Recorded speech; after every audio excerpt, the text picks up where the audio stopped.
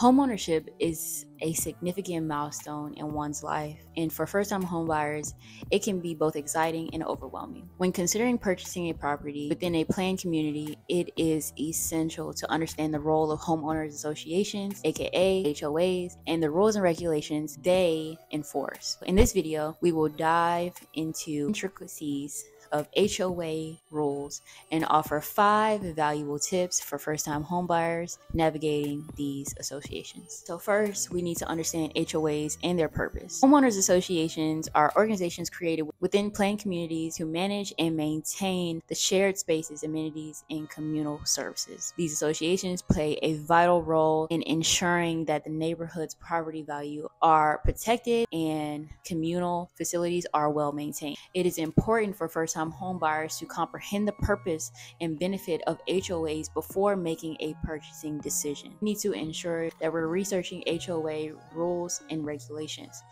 Before committing to a property within an HOA, community, it is crucial to thoroughly review and understand the HOA's rules and regulations. These guidelines govern various aspects such as architectural guidelines, landscaping requirements, noise restrictions, pet policies, and parking regulations. By familiarizing themselves with these rules, first time homebuyers can make informed decisions that align with their preferences and lifestyle. I would hate for you all to go into an HOA thinking that you can do something that the HOA unfortunately restricts. Next, we need to understand the financial considerations. HOAs levy fees, known as assessment or dues, to cover the cost of maintaining the shared spaces and amenities. First time homebuyers should research specific fees associated with the HOA that they are considering and assessing their affordability. It is also important to inquire about any special assessment or potential increases in fees that may occur in the future. This information will help buyers budget effectively and avoid financial strain down the road. Your HOA could start at $100 and by the time you decide to sell it, it may end up at 500 I know that's an extreme difference, but anything could happen within the HOA. For number four, we have active participation. Active participation within the HOA community can provide first time homebuyers with an opportunity to influence decisions and contribute to an overall well being of the neighborhood. By attending HOA meetings, offer constructive feedback, and volunteering for committees, residents can actively shape the rules and regulations that have that govern their community. Such involvement not only fosters a sense of belonging, it also allows first time homebuyers to voice their concerns and suggestions. Number five is conflict resolution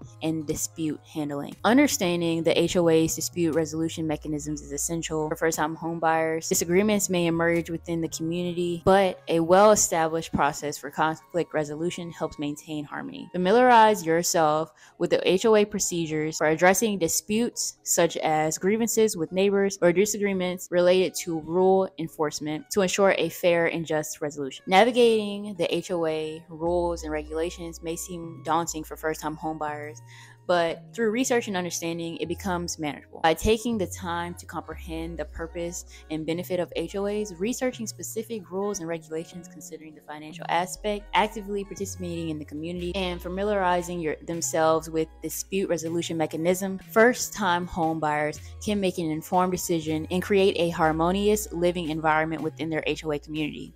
Remember, being an engaged homeowner and respecting the rules helps foster a strong and vibrant community for everyone involved. I appreciate each and every single one of you guys for watching. Make sure you guys go ahead and like, comment, and subscribe to the channel. It would really help me reach more people. If you guys need my assistance or have any questions at all, please don't hesitate to reach out. Thank you guys again for watching, and I'm gonna catch you guys in the next video.